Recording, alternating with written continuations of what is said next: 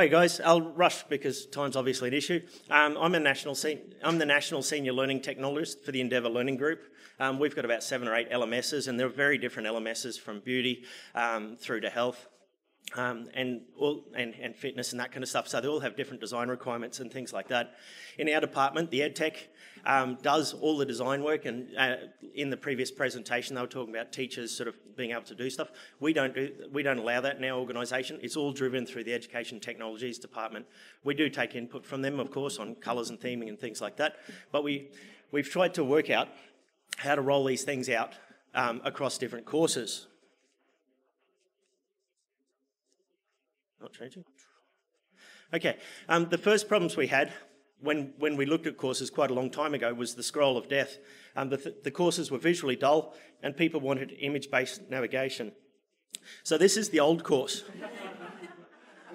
Um, and, and as you can see, this is sort of kind of what I inherited when I came on board. And all of our courses were like this, and you would scroll for hours. Um, font sizes, all sorts of stuff were, were terrible. Um, but you know, it's a pretty common problem that we face across the system. So our solution was to go to the one topic format, um, and you'll see in the next picture, and, and we add some images for navigation. And so that was our first, um, first effort that we ended up with. The coloured boxes are the quick links through to assessments and things like that. Um, and yeah, people were happy for a while. But then they wanted more images. They wanted faster and easier navigation. They wanted pretty pictures. And of course, there's opinions on pretty pictures. Um, our first solution was to go to the grid format. And I don't know, you've probably seen the grid format, it's a tile based format. Um, when we first set it up, everyone was happy, but the grid format loads every resource on your entire page at the same time. So when we had lots of YouTube videos, we were looking at about 26 second load times for pages. And so, of course, as you can understand, the students blew chunks. They got really, really angry. Um, you know, my mobile phone data plan, that kind of stuff. And it was a reasonable, reasonable complaint. So the next solution for us was to go to manual grids. And so this is where us in the poor EdTech department would go through and code up these gridded images. We didn't provide the images, they were given to us. I hate them, I think they're horrible.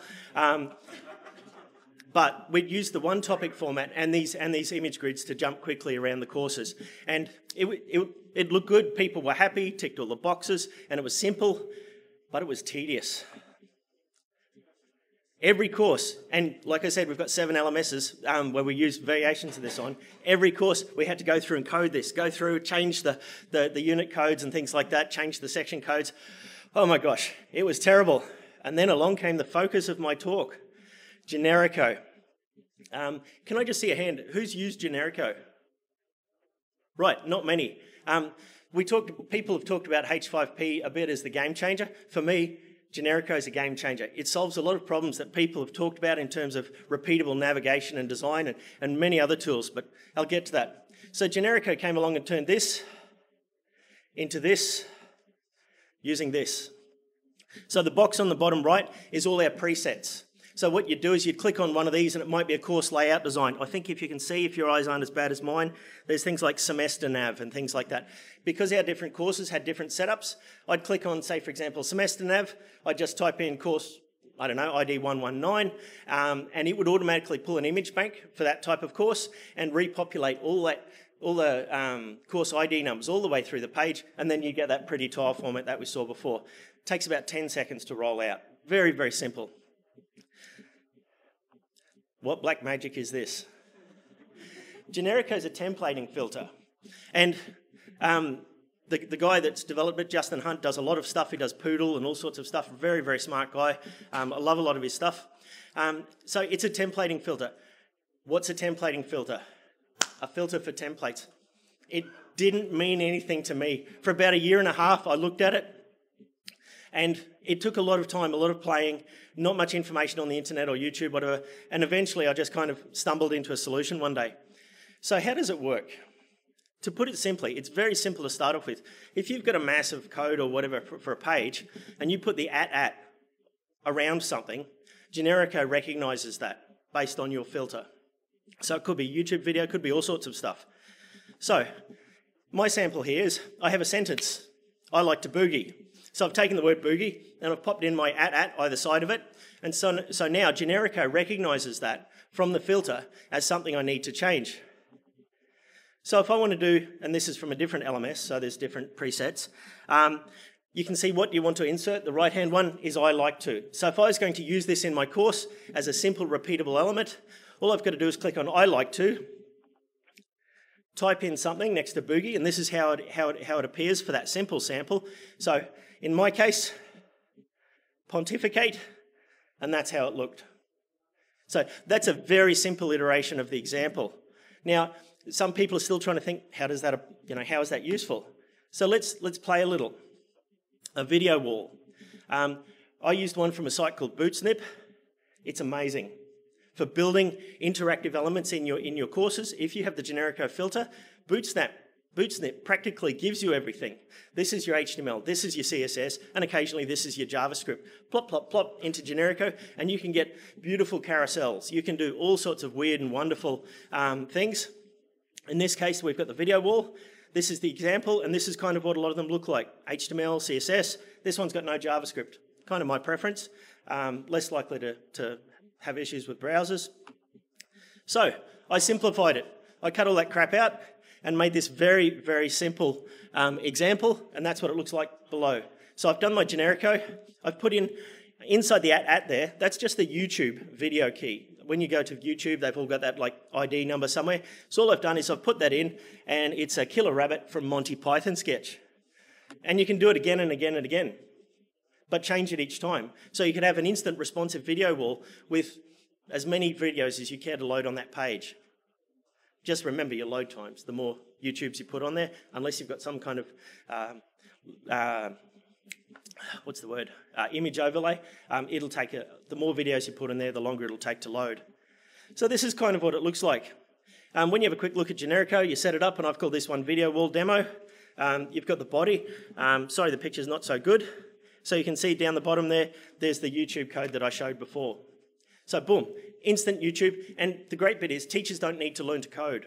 All they need to do is to look for that YouTube, um, the YouTube code and pop it in a little box. Boom, boom, boom, video wall. What else? This is a lesson, uh, just a standard Moodle lesson, but people wanted more colour in it. So when you start getting the stage where you can look at a page and, and right click and go inspect element, you can type in, you can look at the background. If there's a background element, you can go background red or background something or other. For this, we inserted a background image. And again, the teacher can pick it, whoever's creating the resource, but you can do this on any element of the page. This is a course background. For us, lots of LMSs, lots of different courses, everyone's got their own opinion on images. Um, so what, what the Generico does is allows you to apply that just to that page. So in this case, this course, this entire course background is using this one image. So this is a law unit, and so we've got the appropriately pictured gavel. Um, so the teacher can pick that, or we can do it for them. It's nice and easy. And when you back up and restore the course, it goes with it. So you don't need to keep doing it. So it makes it quick and easy to roll stuff out. There's a lot more. YouTube embeds, PDF management, um, alerts, accordion resources, modals, pop-up alerts and things like that. Have a look at Bootsnipp. Anything that's on that site, with a little bit of tweaking, you can pop into your Generico. So if you want one of those alerts that pops up and blocks the page when you go to a page, students, assignment time, or, or something like that, um, you can do it. And it makes it nice and easy to set up. But, um, sorry, I jumped ahead. There's a lot of ideas on bootsnipp.com. Um, there's Bootstrap 2.3.2, although you may have heard in, in some of the discussions, the next versions of Moodle are going to Bootstrap 4. So you probably want to sort of keep an eye out for that. And it might take a, a while for some sites to come up with these flashy little toys for Bootstrap 4. Not that hard to convert between them, but a little bit. Other things you can use, HTML page builders. There's a lot of them out there on the web. Um, I see this hasn't updated, um, but there's HTML page builders where you drag and drop your elements. You can drag and drop columns and boxes and media elements and, and headers and that kind of stuff, and then you just change it. You type in, you know, whatever you want, insert your own YouTube videos. You can download the code for that and use that as an inspiration. Pop your at at through everywhere for your images or for your course links or YouTube videos, and instantly you've got a repeatable, insertable, simple element that the teachers don't need to know how to code to use. A word of caution. Um, this tool can include HTML, CSS, and JavaScript. This is a big deal. for, for sysops and admins and people like that, it's a potential security vulnerability because unless people, um, you shouldn't be connecting to JavaScript or elements outside your LMS. You should only be pulling stuff internally because the site you pull from um, might have some insecurities. It might get hacked or whatever, and then your LMS is open to them. So finally, thanks and acknowledgements. The plugin developer, Justin Hunt, amazing guy. My co-worker, Philip Mackay, he's really, really cool. He's a fitness guy, um, but he was so good at learning technologies, I stole him out of his uh, fitness brand, and now he helps me as an offsider.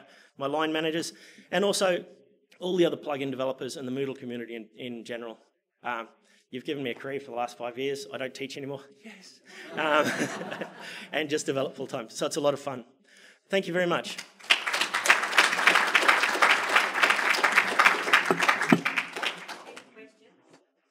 Any questions? Thank you.